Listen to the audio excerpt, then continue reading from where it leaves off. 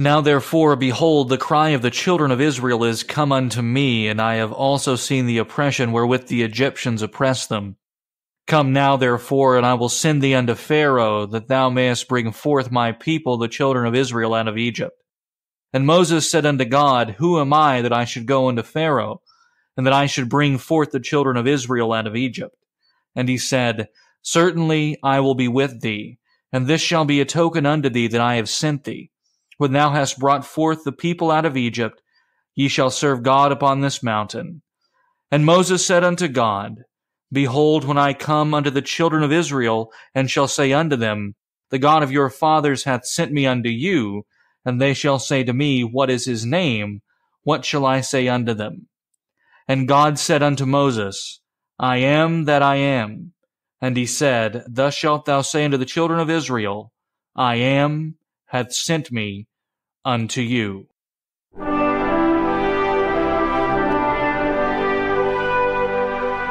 This is a word fitly spoken. Willie Grill, and Heide here to talk about the Exodus, to talk about Passover, to talk about the early life of Moses. How's it going, Zelwyn? It's going pretty good. Got cold again, but that's just life up here. So, did you get hit with any of the blizzards that came up north? No, it's a little further south. For once in your life, you can say that. Yeah, exactly. The snow is south. I I do feel for them though because I've seen snow drifts like up to 18 inches or more, which is hard because this is calving season. So prayers certainly go out to all the ranchers. Certainly. Now, in your childhood growing up as a rancher, did you ever have to go out a calving during a winter squall? Is the Pope Catholic? Do you think you could still like tie some chains to one and, and get it done if you needed to? I suppose, but it's been a few years. It's like riding a bicycle. you know, you never know. That's true. You're a circuit rider. You never know. You might have to might have to it every now and then. Evangelism through uh, assisting cattle. It's been warm here. Got the garden tilled today. Very windy, as it typically is. Still, you know, very mild. I think spring might actually might actually be here. And that's been gratuitous weather posting. So, what are we talking about today? Well, it's the Exodus or the Passover. We went back and forth really about what to call this episode because Exodus really encompasses much more than the Passover. And certainly the whole story of Moses is more than the Passover. But Zelwyn, why are we talking about the Passover right now? Well, this episode is, of course, releasing during Holy Week. And it's important to talk about what the Passover is in particular during Holy Week because Christ has become our Passover lamb and in all of the events are happening around the Passover. So to talk about this and to really flesh it out will help us to understand what's going on in the Gospels as well. You know, we want to take some time to go through these Old Testament accounts and really study them for the history that they are. And of course, we will move toward their fulfillment in Christ, but to talk about the events themselves is a reminder that these are actual historical events of God's mighty hand working among his people. The Lord working in the Old Testament is significant and it's true. And more and more as the authenticity of the scriptures is chipped away at by various forces, we at A Word Fitly Spoken want to constantly reinforce that the biblical accounts are true and they are authentic histories of God's people. And they're not just histories that are given for the sake of, okay, and now we can move on to Jesus, too. I think sure. sometimes that's a danger we run into as well. Okay, we talked about Moses, so let's, you know, we talked about the Red Sea, let's jump right to Jesus now.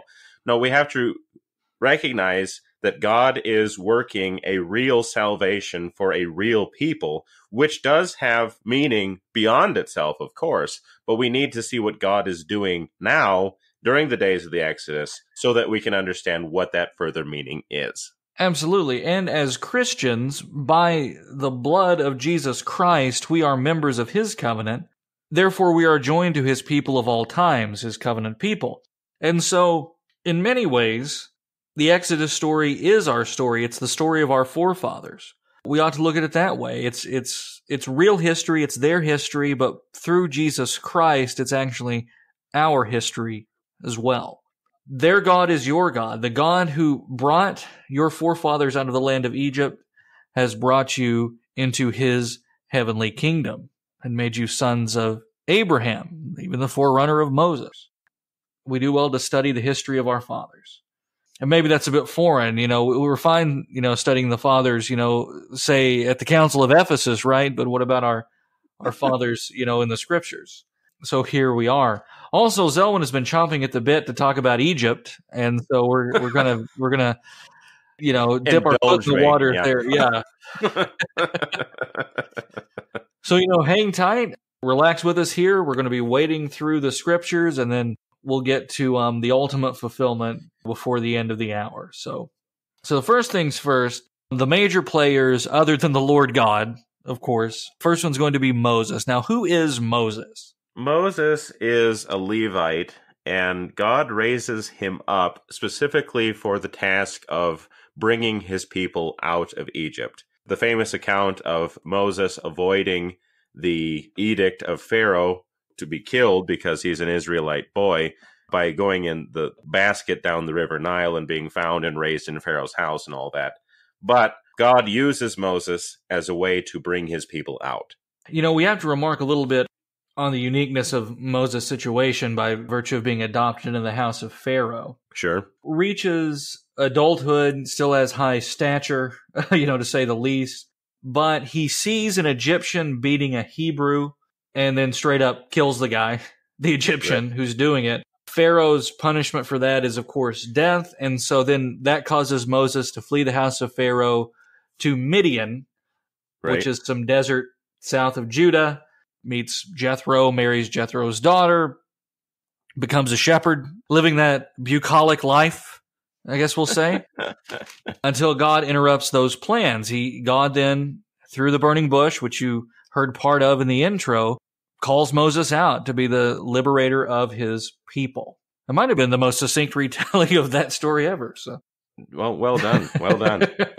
Making reference to Stephen's sermon or speech, whatever you want to call it, in Acts seven, we don't want to think of the murder of Moses being a murderer just because he's somehow terrible. Stephen actually tells us that in chapter 7, verse 25 of Acts, that he supposed that his brothers would understand that God was giving them salvation by his hand, but they did not understand.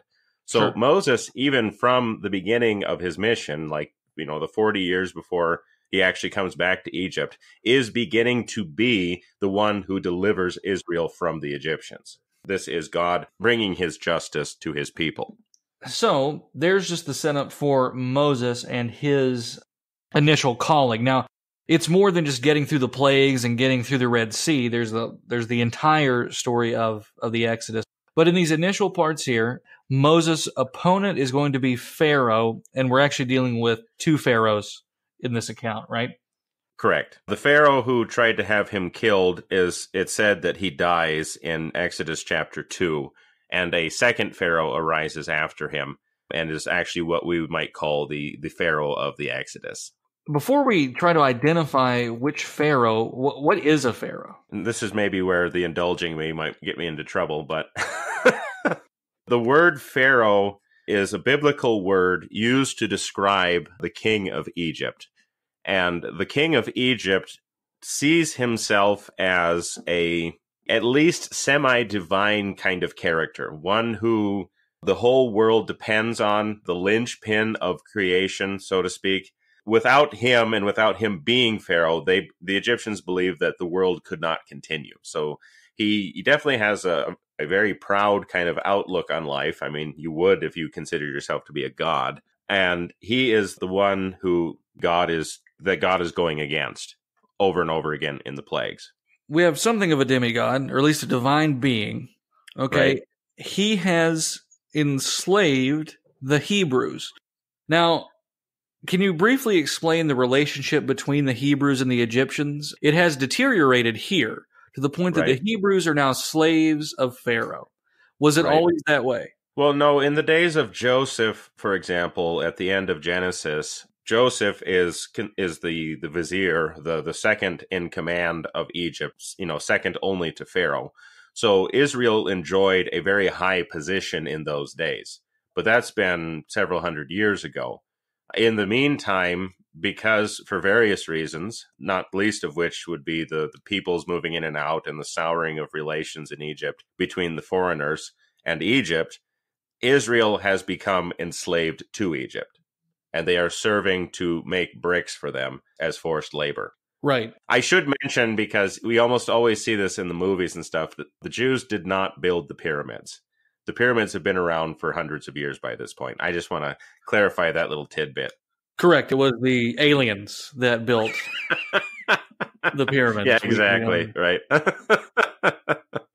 the forgetting of Joseph is significant and a really rather poignant part of scripture, but it is part of this is what false religion does, right? Any any bit of God's favor, idolatry tends to harden you against against that truth.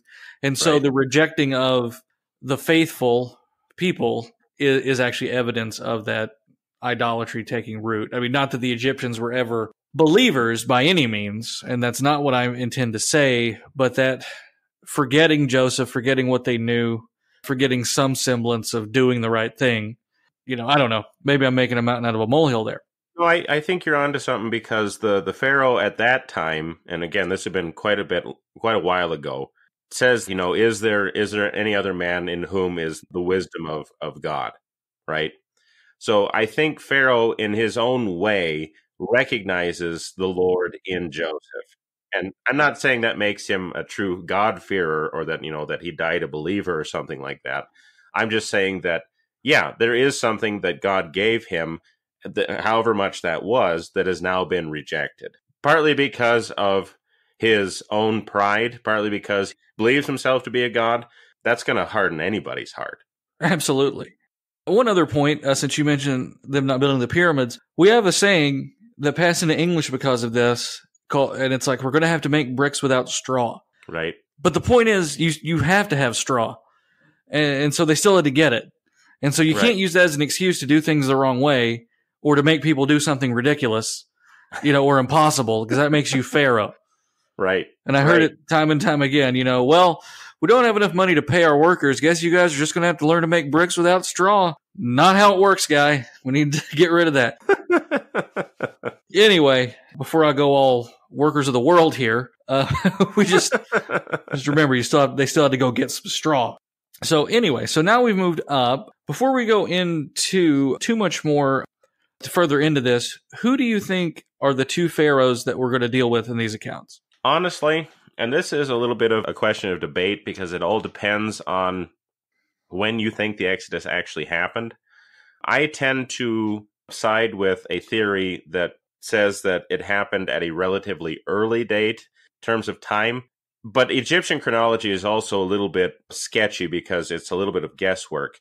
But the Pharaoh that I think we would consider to be the Pharaoh of the Exodus would have to be the one that we call Thutmose the Third a pharaoh who lives, oh, I'm trying to remember the dates here. Let me pull them up.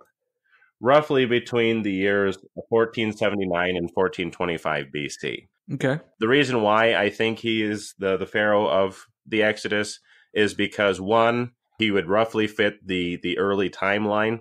Two, he was a well-known pharaoh, very notable for his achievements. So he would have been a, a strong figure.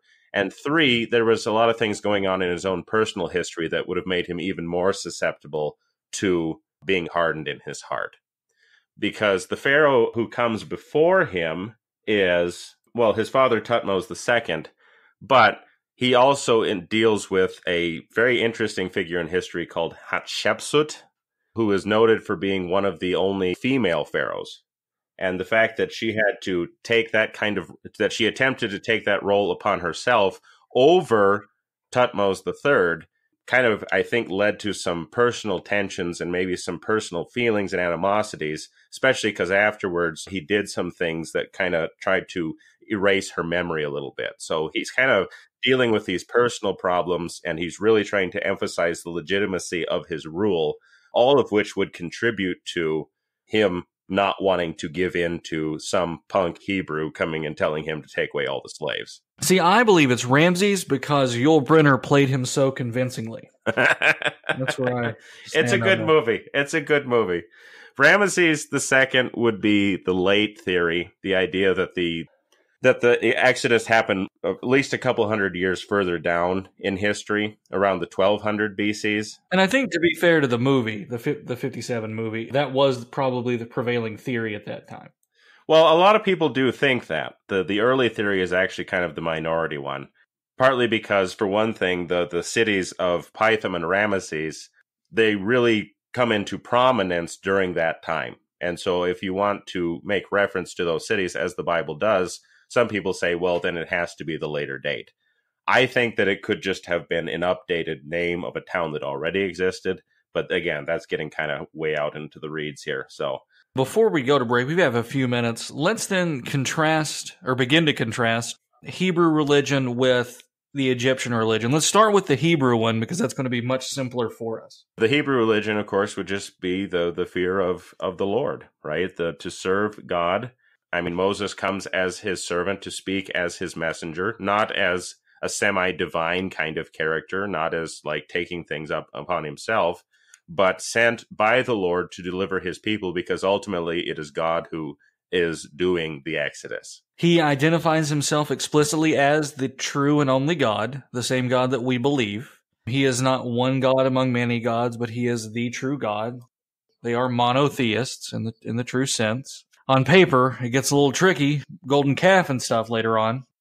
Technically just one calf, I guess, but well, true, but but their their time in Egypt does deeply affect them. I mean, right. I think that they are kind of infected with the idolatry of Egypt, but that's neither here nor there. You know, so then let's begin to talk about Egyptian religion. Fundamentally, they are polytheists, right? Right. And of course, this is where I'm going to dig myself into a, a really, really long hole here. They are polytheists in that they believe in many gods, but a lot of their gods, of course, were, were more local gods. So, like, just because we look at the the gods of Egypt doesn't mean that every city worshipped all of these gods or that even every Egyptian would have known all of these gods. It just sure. means that they worshipped many gods in many different places, some of whom were known throughout the kingdom and stuff like that. But the one key figure in all of it is Pharaoh himself, because he is considered to be the chief priest of all of the temples. He's considered to be the, like I say, the linchpin between the, the, the divine realm and between the, the mortal realm and the one who keeps it all together. So if you really want to boil Egyptian religion down to something that they all held in common, it would be Pharaoh. Very good. Well, we're going to take a quick break. We'll be right back with more Word Fitly Spoken.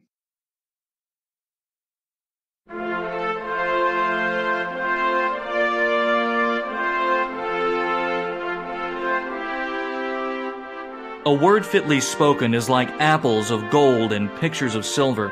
The fear of the Lord is the beginning of wisdom, and the knowledge of the Holy One is understanding. The Word, front and center, in doctrine, in history, in life. That's the mission of a word fitly spoken. We've got more on the way. Stay tuned. We'll be right back.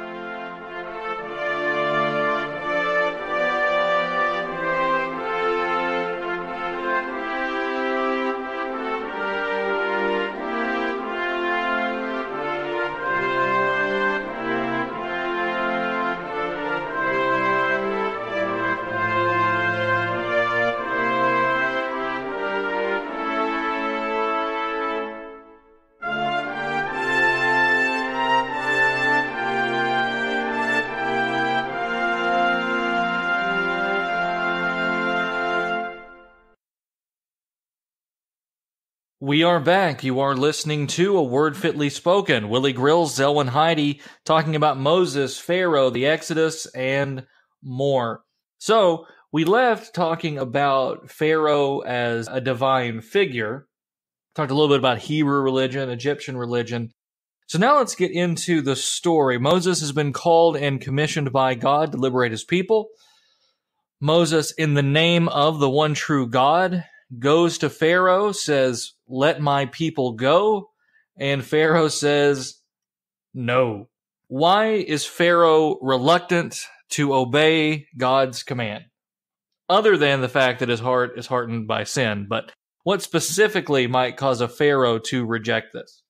Honestly, I think it has to do with his self conception of being at least quasi divine. Because he believes himself to be a god, and because of, well, I mean, if, if Thutmose is the, the pharaoh of the Exodus, all of his personal hangups as well, because he believes himself to be a god, he's not going to listen to a, another god who is going to tell him to do something totally contrary to what he is doing. It's basically saying, like, Pharaoh, you need to listen to me. And Pharaoh doesn't want to do that. And I, I forgot to mention this in the previous section, but I think this will maybe help you to understand a little bit about his own self conception. Every Pharaoh, except the very earliest ones, had a number of titles Thutmose III's titles went like this Horus, mighty bull, arising in Thebes, he of the two ladies, enduring in kingship like Ra in heaven. Horus of gold, powerful of strength, sacred of appearance, he of the sedge and the bee, which just meant that he was king of, of Upper and Lower Egypt. Enduring of form is Ra, son of Ra, Thutmose, beautiful of forms. And Thutmose, uh, the name itself means Thoth is born. Well, for all you expecting mothers out there, there's some names for you. A whole pile. Yeah, exactly. but, but you can hear in his titles, in his official titles and names, this idea that he believes himself to be the incarnate form of all of these different gods, that he's literally Horus on earth, so to speak. And so for God to, the true God to come and to tell him, you need to let my people go. You need to submit yourself and humble yourself before me. Pharaoh's going to say, you know, who is this God and why should I listen to him?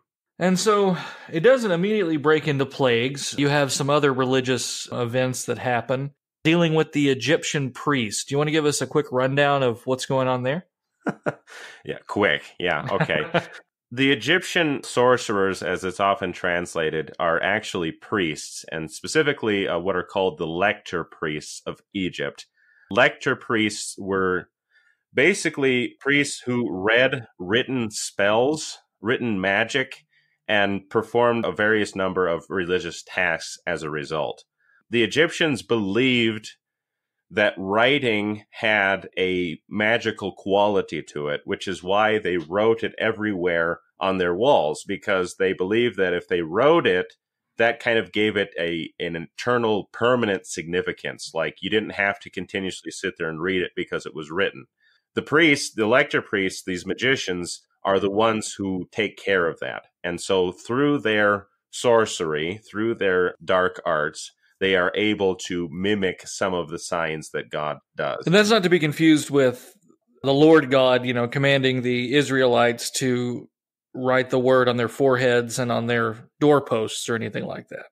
Yeah, because w- what God is saying when we write the word on our doorposts or write the word on our foreheads, whatever, He's telling us to call it to mind, to always have it before us, to remember it. Right.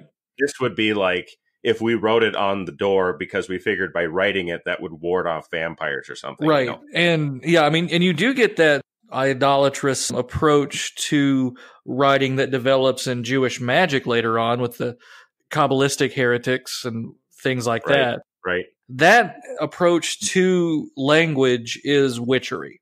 You know, regardless of who you would claim to have allegiance to, you have now fallen into gross idolatry when you when you commit that kind of or when you commit to that kind of idea. So what are what are they able to do then through this magic? And I think because they are permitted to mimic these signs, I would actually liken this to the Witch of Endor in the later years with Saul, so in Second Samuel, who was able to conjure up the spirit of Samuel, not because she has some sort of innate power, but because she is suddenly permitted to do it. God permits these magicians to mimic some of the signs in order to actually further harden Pharaoh in his in yeah. his heart. So, so, what kind? Of, what's an example? What what happens here? And the first sign that they're able to imitate, of course, is the the staff turning into a snake. Moses casts down his staff; it turns into a serpent. The magicians do, the lector priests do the same, but the the staff of Moses eats the sta- the staves of the priests. Then, of course, you have the the first of the three of the the first three plagues, which they do which of course is turning the Nile into blood, frogs, and the gnats. Right. And with the, the coming of the gnats, the magicians realize that they can't, that this is actually God at work. You know, this is the finger of God. So, to a point, they're able to basically make false miracles, false signs. We're told in Revelation that the second beast is able to do, you know, Satan is able to do false miracles as well. Right. Now, one interesting question here then are they just illusions or is there actually something magical happening here? I don't think they're illusions. I think that this was a legitimate thing that they were doing because we in the modern West tend to dismiss magic as purely illusionary, but I don't think we should do that because that leads us into the also into a trap of, you know, being caught up in our own big brainness. sure. Uh, yeah. You know what I mean? Because we think it's impossible, so we you know we'd never be taken in by anything like that. Well, then if it does happen, it might actually do that. The fact that it is real is dangerous. It's all borne out by God's constant commandments against it. Right. God isn't saying avoid cup and ball, you know, magic kit at your local shop, although maybe. But the, but the point is, it's it's not just mere sleight of hand. Uh, you right. know, probably probably the greatest sin in sleight of hand is is either is deception for the sake of theft, but there's a real spiritual deception that happens in true witchcraft, true demonic arts. And the scriptures don't seem to treat them lightly or they wouldn't treat them so heavily uh, or so gravely if there wasn't real danger here, if there wasn't some legitimacy right. to them. Right. And so we avoid those kinds of things. So you mentioned they're able to sort of fake the plagues to a point. Let's kind of go into that a little bit. Let's go into the plagues as much as we can here. So Moses is going to go to Pharaoh more than once, telling him mm-hmm. the command of the Lord to let my people go. Pharaoh's again and again going to say no, he's not going to relent. So then the signs intensify and we have the plagues. So what do we want mm-hmm. to say about the plagues of Egypt? There's 10. So I mean that's the most basic point. There's actually three sets of 3 followed by the 10th. So you have three cycles of three plagues that eventually that kind of circle in until we finally get to the 10th plague, which of course is the Passover itself. And the reason why I bring that out is because if you if you read the plagues all together, you'll notice that there's actually a pattern. The first plague in a cycle always begins with God telling Moses to go to Pharaoh in the morning and to while he's going out to the water and tell him this. The second plague in the cycle always tells Lord tells Moses to go into Pharaoh and to tell him something, you know, somewhere else. And then the third plague, he just tells him to do it. He doesn't actually ever talk to Pharaoh. So you see that cycle th- repeated three times. But as the cycle itself is going, the number of people it's affecting actually gets smaller and smaller because the first three plagues affect all of Egypt and actually affect Israel too. I, I think that's something that, that's interesting because you have in the fourth plague, the beginning of the second cycle, God saying, Well, I'm going to set apart Goshen, I'm going to set apart my people, and they will not be affected, but Egypt still will. So the first one affects everybody, the second one affects just Egypt without Israel, and then the beginning of the third cycle with the seventh plague, it actually is says in uh, chapter 9 verse 14, for this time I will send all my plagues on you yourself and on your servants and your people, so that you may know that there is none like me in all the earth. So let's really briefly go through the plagues. They don't okay. have a purely naturalistic explanation. We're going to reject that out of hand, although one could naturally lead to the other in a few cases. But sure. again, that doesn't doesn't really explain a river of blood by any means or hail of fire or, or, I guess it's technically hail and fire. So it's fire from the skies and hail, which is something you shouldn't see together. a little, little disturbing. Okay. So the first one, contrary to a certain notable publication, it's not red algae, but rather it is blood, which is a striking image, but it also causes all the life in the water to die. Right. And causes the water to no longer be potable. Well, and remember, because the Nile itself is the center of Egypt. Right. I know Pharaoh is kind of the, the social center, but they all rely on the Nile for everything. if the Nile doesn't flood like it's supposed to, the crops would fail, the society would collapse. So they they do look to the river as the source of their life. Right. So the rivers turned to blood. We agree. Do you mm-hmm. think it's blood? It is. Right. Yes. Why do you think that? I mean, it just be that that very idea. The the very thing that's supposed to bring life has now actually become death. Right. I was just gonna I was just gonna go with the text says blood, but yes. Oh, okay. I'm I'm giving it an explanation, but yeah, it literally just says it turned to blood. I mean, there's there's no other. We don't have to to explain it away. Right. It just says. it's just a shame that you know we're almost in some circles become embarrassed by these plain texts here. You know, not throwing shade or anything, but let's just let the let's let the let's let God be God. Let's let God be true, though every man a liar. And let and let the Bible be the Bible. Yeah. Right. The next is going to be frogs. So the not. Yep. So now out of a bloody river comes a bunch of frogs, and now we're going to say that this takes place over all the plagues are going to take place over a larger period of time. It's not like a really bad week or anything. This is something that's right. going to rather slowly unfold. We're not going to say years, but months. At least, yeah, maybe maybe a couple months, maybe at least a few months. Right. If only because just in various parts of the text, like the Nile, for example, is blood for a week. So it's not like this is happening, you know, bam, bam, bam, bam, bam. It is something that does take a little bit of time. Yeah, and, and you get the idea that it's unfolding a little more gradually because God is is truly giving Pharaoh time to repent or sure. to relent, even though he's eventually going to harden his heart, or or really, I mean, it's purpose from the beginning, but it's a sincere offer here. Like th- this is not just an illustration. This is simply like you you did have a true opportunity. Egypt has an opportunity to repent that other nations will not later in the Old Testament. Right. So their their judgment may actually be greater. We don't know. I mean, uh, it's gonna not be good to be Canaan, but Egypt had a greater measure here of knowledge. So, all right. So we have right. the frogs. The next is going to be lice.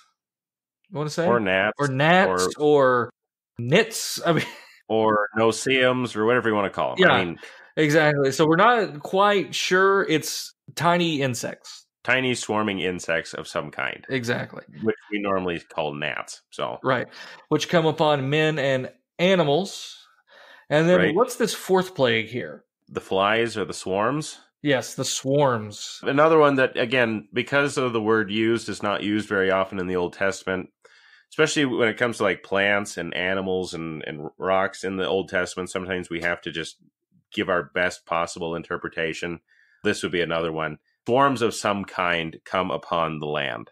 So you got that. And we missed something here. You know, we've got, so the first cycle ends with three, and then we come upon, we're in the next cycle here and the Lord hardens Pharaoh's heart, and, and Pharaoh refuses to keep his promise. Mm-hmm. We have a whole episode dedicated to this. So if you want a larger discussion on the hardening of Pharaoh, we'll link to that episode in the description when we talk about that tension between Pharaoh hardening his own and God hardening his. So we won't delve into it too much this episode.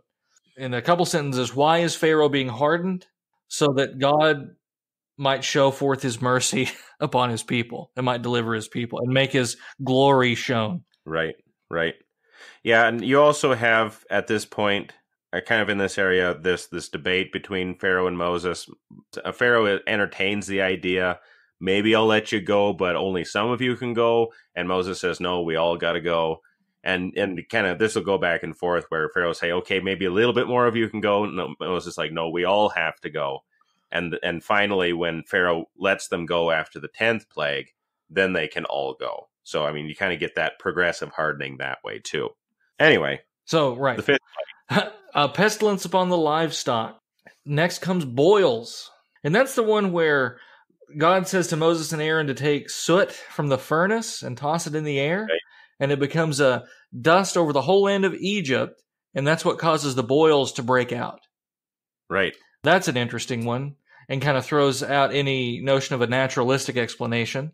Well, you had that with the, the gnats in the third plague. That's true. Too. Yeah, it happens. Well, yeah, that's right. The dust throughout the land again. In three, in the third plague, he hits it with the rod, and with the boils, they throw it into the air. Right. Still, it's still. Well, no, it's actually it's dust in three and soot in six. But the the point is, is, is what you were pointing out this is not something that we should say, oh, well, you know, soot is actually going to cause boils. God causes this to be what causes Correct. It. And God's going to do this in gift language too when it comes to say water from a rock and things like that. So it's not just limited to plagues, but God is not limited in his power. Like he uses his ordinary providence to give us the things of, of our life, but God can do what he wants. I mean, right. that's really the point here. And and two, also he's still working through those that he's called. So he's involving them in that. Okay, so we've come to the next cycle, right? Are we in the right the third cycle? Yeah, with the, the seventh plague. Yeah, so we've got hail and fire. The next is going to be locusts, which are which are mm-hmm. consuming the Egyptian country, your houses, and those of your officials. Speaking mm-hmm. to Pharaoh. Then we have three days of darkness. So Moses stretches his hand towards the sky, and that causes darkness to fall. And that ends the third cycle. And then we come to the most significant plague and, and the one that, that the Passover actually comes from. So what right. happens there, Zelwyn? The angel of the Lord is sent to destroy the firstborn of Egypt. And the Passover, of course, being putting of the, the blood of the lamb over the doorpost so that when the angel sees it, he will pass over that house and go on and carry out his destruction. Firstborn of cattle as well, in addition to humans. Yep. So yeah, so they have to put the blood over their doorposts, or otherwise they will be taken. Now it's lamb's blood, so we're getting a little rich in symbolism here. If you want your typology, right. here it is. You know, lamb's blood put over you, which saves you from death and destruction. What could that be pointing toward? Huh. I don't know. Maybe something going on this week. Right. Exactly. Exactly. So, I mean, a clear pointing toward Jesus, but also an actual promise to these people that if you put literal lamb's blood over the door, this plague will not touch you. Well, that's that's really kind of the thing we should emphasize here too is that yes, this points to Jesus, and we absolutely affirm that. But these this is a real Passover in a real Egypt with real lamb's blood in a real time. Right. God delivered his people at this moment. Yeah, and he's getting ready to deliver them further in, in the next miracle. But it's interesting here, a couple things. The Lord says, About midnight, I will go through Egypt, and every firstborn son will die. So right. the Lord is going through and executing this judgment. He is taking responsibility himself. I will go throughout Egypt. I mean, this is the Lord's judgment here. Right. And I, I you know, that's very stark, but that is the, the language there. He he takes the credit. Now, what's going to be Pharaoh's reaction to this plague? Pharaoh will actually finally relent enough to at least let Israel go. Of course, he is going to be hardened again when he pursues them to the Red Sea, but at this point he's willing to say, "Okay, fine. I I give up. Go." And it's I mean it's a little strong, right? I mean he orders them to leave, they can take whatever they want. Right. Just get out. You know, Pharaoh sees what's happening and is at least sensible enough to relent. Do we want to say anything more about the plagues before we head to break? All I was emphasizing, and I think what we need to emphasize over and over again, because I, I think we might say, sure, this is historical. Yes, we believe it's real. We believe it's real history. The reason why we're emphasizing it in this way is because I think we do have a tendency to run so fast to the New Testament not that that's like that Jesus isn't the author or perfecter of our faith. I mean, he is, and he is the the means by which we are saved. But if we only are looking at the account of the Exodus in such a way that we just immediately run to Jesus and not really talk about what God is doing right here and right now, why does it need to be historical? Right? Sure. I mean, and maybe that's and that might sound a little stark, a little kind of uh, harsh, but if all this is is just a pointer or even just an example for us, then it doesn't have to be historical. But God is actually carrying out his purposes here in Egypt so that his people can go to the promised land so that Jesus will come. We don't want to look past this, we have to look through it, so to speak. Amen. We'll be right back with more Word Fitly Spoken.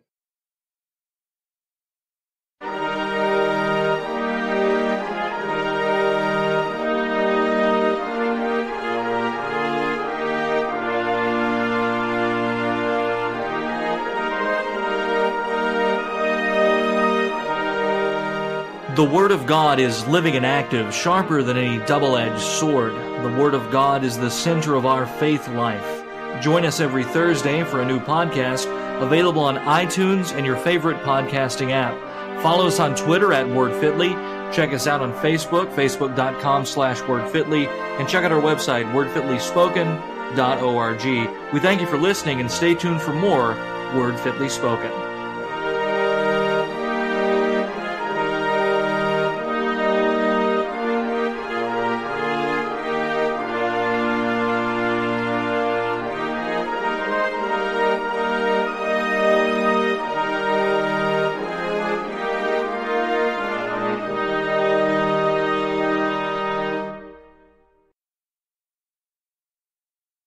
We are back. You are listening to A Word Fitly Spoken. Willie Grill, Zell, and Heide talking hard hearted Pharaoh and the Hebrews.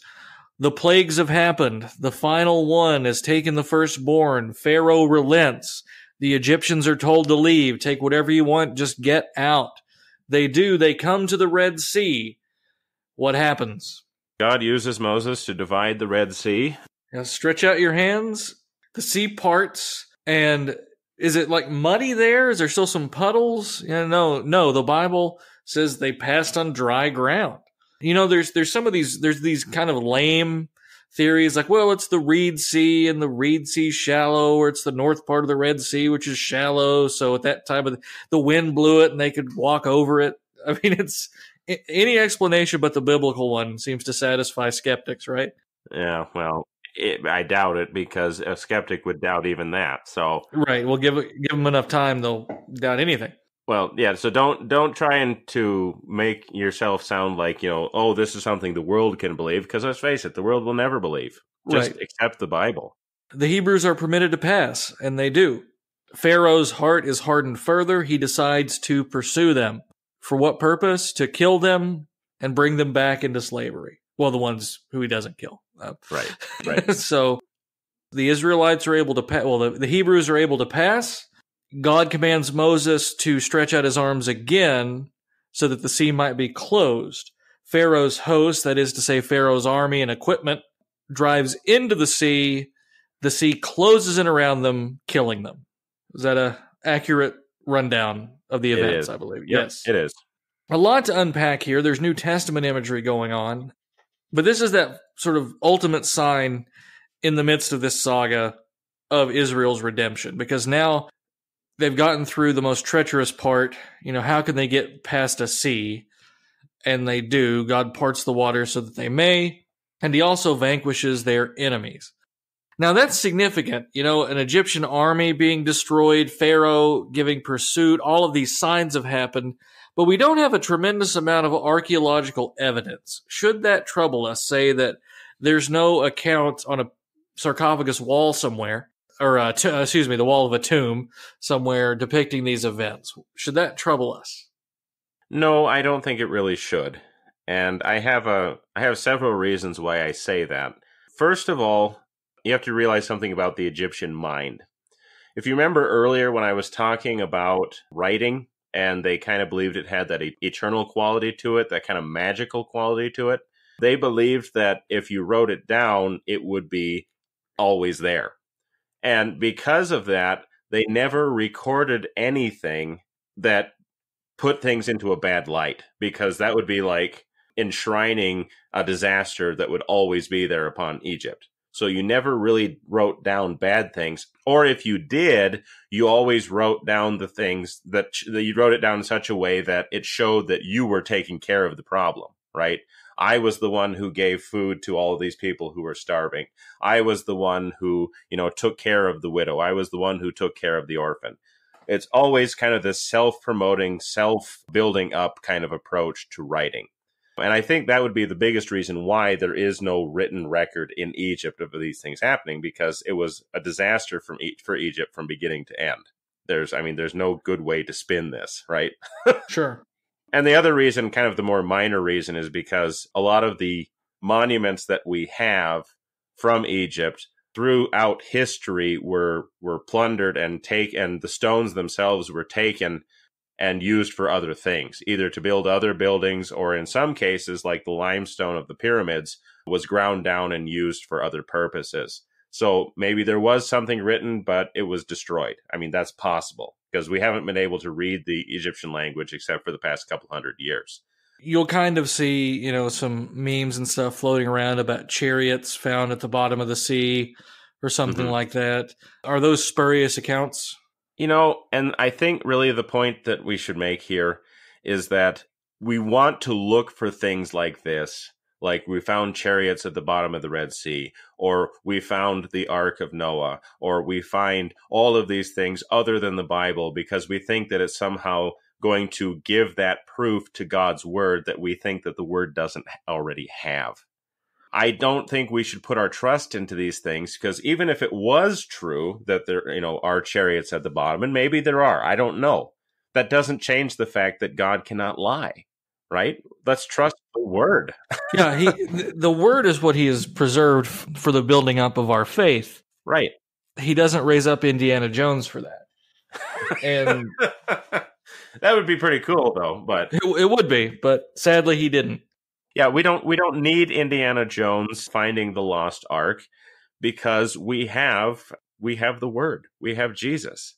And even if it did find the ark, it wouldn't change anything. Right.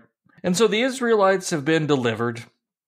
Pharaoh is vanquished, defeated. That's kind of as far as we're going to go into the Exodus story here because it's a high note and it goes downhill really fast from here. You know, like idolatry and grumbling immediately. And then, right. you know, 40 years of wandering in the wilderness. It, it is interesting that they are delivered from all of this. They, the, the Hebrews, that is. And some Egyptians are saved. I want to point that out too, that right in the deliverance, some Egyptians go and some Egyptians are saved. Already there, it's it's beyond a, a purely tribal thing that that there are Gentiles brought in to the covenant really early on. Well, and if if you remember too, Ephraim and Manasseh are the sons of an Egyptian woman. Yep, that's true. So I mean, there's there's kind of Egyptian blood mixed in already. Right. So right. It's not just a purely tribal thing. Right. Now, very quickly, they begin to grumble. Moses is up on the mountain with elders, receiving the word of the Lord, and they fall into idolatry and they want to go back to the, what they falsely remember as a better life in Egypt. And it probably is an easier life than what they're going through at that point. And yet it's even in the face of these great miracles, they're going to have visible manifestation of God mm-hmm. that guides them.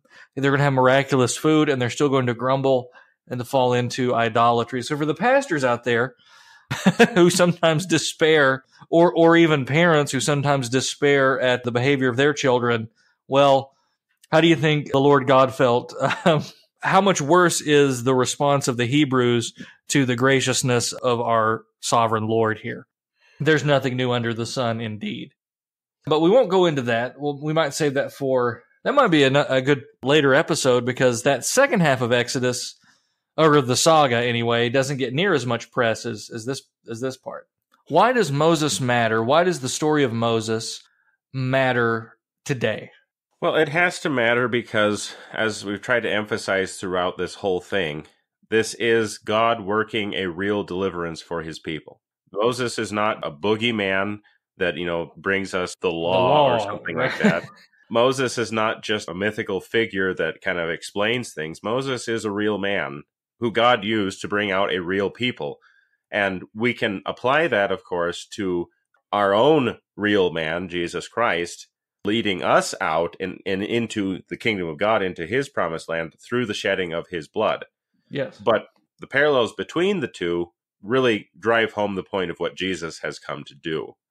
And so it's not just merely for the sake of telling a story, but we see that God not only saved Israel at that time, but he's also saving us through the deliverance of our Passover lamb. The Passover is going to be celebrated here. You know, if you're listening to this during Holy Week, if you're listening to it later, you know, again, that's the time that we're recording this, dropping this episode anyway. The Passover is the commemoration of this, at least in the Old Testament festival system. But that Passover is ultimately fulfilled in the person and work of Jesus Christ. So we want to do a couple things here, and this is really in the face of modern worship. all of our Passover celebrations as Christians ought to be celebrations of Christ. And that means celebrating them according to his institution. So we do, as far as ceremony goes, put away the old things. That means that when the Israelites are commanded to remember this Passover in a specific way, you know, in a ritual way, we no longer do that. How do we celebrate the Passover, Zelwyn? Well, we celebrate the Passover by reflecting on our own Passover lamb, right? To to hear the forgiveness that has been won at Calvary, to receive the gifts that he he comes to give us, and to believe. We are celebrating every day truly, but you know, corporately in the divine service, our Passover lamb Jesus Christ and receiving the benefits, I mean, truly receiving the blood of that lamb in the Lord's Supper. Right. Right. That is how a Christian celebrates Passover.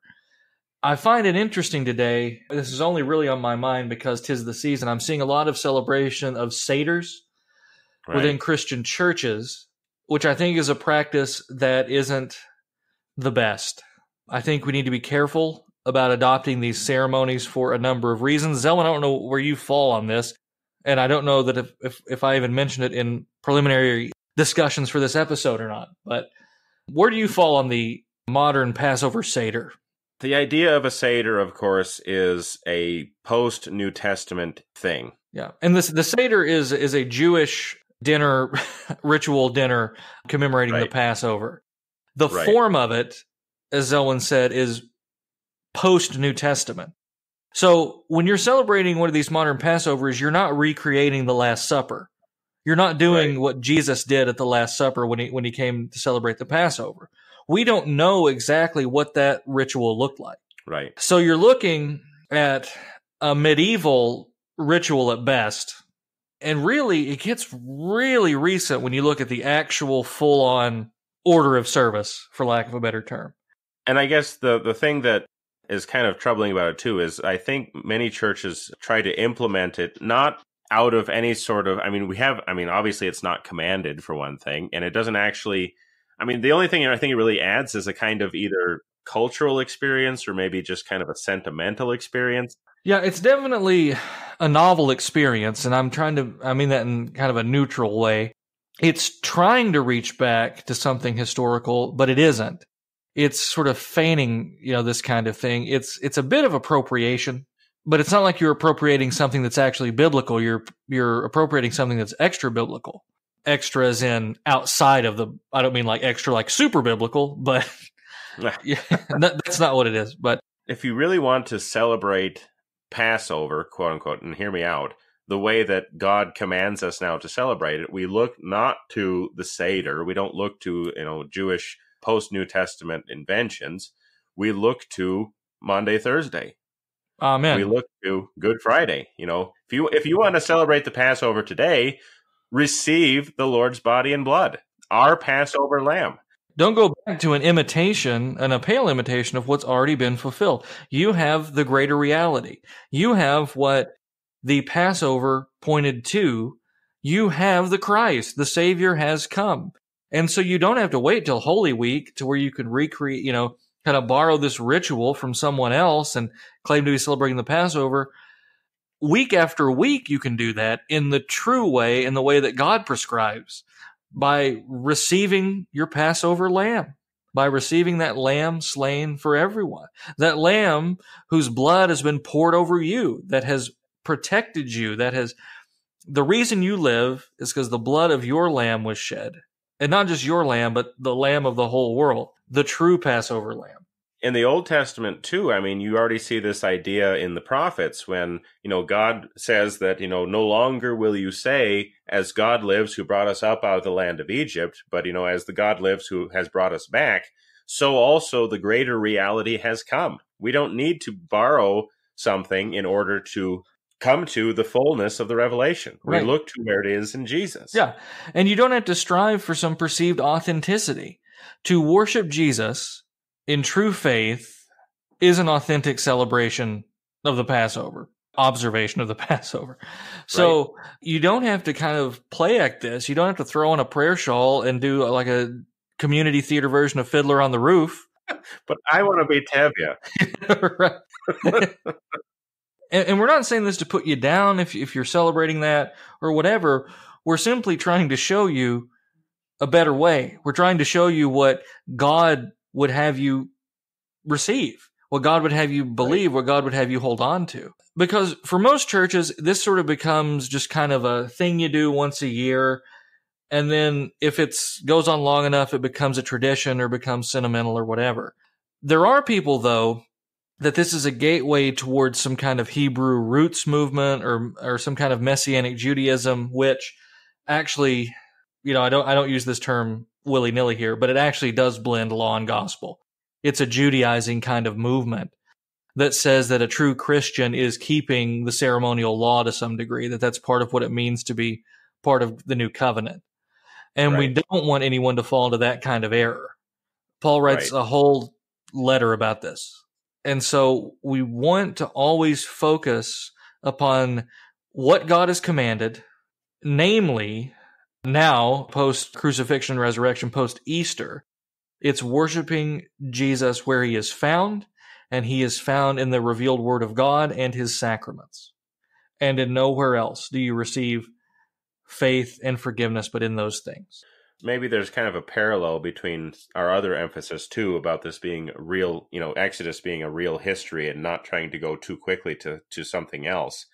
We don't want to just treat the Exodus as a kind of nice experience or a nice story or a nice kind of we needed an Old Testament lesson for Good Friday or something and so that's why we read Exodus. This is something that God has actually done so that we can look forward to what he has also done for us it's right. not a, a show uh, like the Seder might be. This is a real thing. And again, when we're talking about the Seder, that we are not denigrating the observance of the Passover that God commanded in the Old Covenant. But and we're but we're also not saying that the Passover Seder is the same thing. Yeah, it's a very it's different not. thing. Yeah. So don't let's not get that confused or anything. But the time for observing that has passed. It has been fulfilled. And we don't want to add any extra burdens upon people. That's kind of a extra Lutheran note as we come towards the end of this section. so, okay, so Moses matters, worship the Lord in spirit and truth. And then again, maybe the final really comforting aspect is our mighty God who has and will deliver us. You know that God will bring you to the promised land, that God will bring you to salvation. Why? Because he's saved his people time and time again in the face of great struggle. The deliverance out of Egypt is a true deliverance. They are brought out of Egypt. They are eventually brought into the promised land. They are given what God promised them. Now, do they lose it? Yeah, but God gives it back even in great mercy. Do they lose it again? Yeah, but again, but nevertheless, God is not slack concerning his promises. He purposed to save his people, and he does. And you too, O Christian, are his people. You are God's own. And he has said, I will deliver you. And because God cannot lie, he will by faith in God the Son. And just as, and maybe this is a way of kind of pointing it forward too, God really delivered his people at the Exodus. God has truly delivered us in a far greater way through his Son. And God will also come again to deliver us from this present evil age. And when he does that, he will keep all of his promises and bring us into that heavenly country which knows no end. That is something also that we can look forward to as we go into remembering our Lord's Passion. This has been a Word Fitly Spoken. If you like what you heard and want to know more, check us out wordfitlyspoken.org, facebook.com slash wordfitly, or Twitter at wordfitly. I'm Willie Grills here with Zell and Heide. God love you and God bless.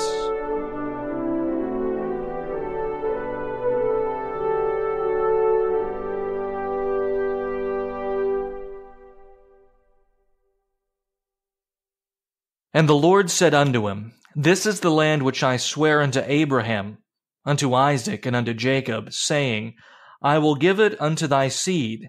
I have caused thee to see it with thine eyes, but thou shalt not go over thither. So Moses, the servant of the Lord, died there in the land of Moab, according to the word of the Lord. And he buried him in a valley in the land of Moab, over against Beth Peor. but no man knoweth of his sepulchre until this day. And Moses was an hundred and twenty years old when he died. His eye was not dim, nor his natural force abated. And the children of Israel wept for Moses in the plains of Moab thirty days. So the days of weeping and mourning for Moses were ended. And Joshua the son of Nun was full of the spirit of wisdom, for Moses had laid his hands upon him. And the children of Israel hearkened unto him, and did as the Lord commanded Moses. And there arose not a prophet since in Israel like unto Moses, whom the Lord knew face to face, in all the signs and the wonders which the Lord sent him to do in the land of Egypt to Pharaoh, and to all his servants, and to all his land, and in all that mighty hand, and in all the great terror which Moses showed in the sight of all Israel.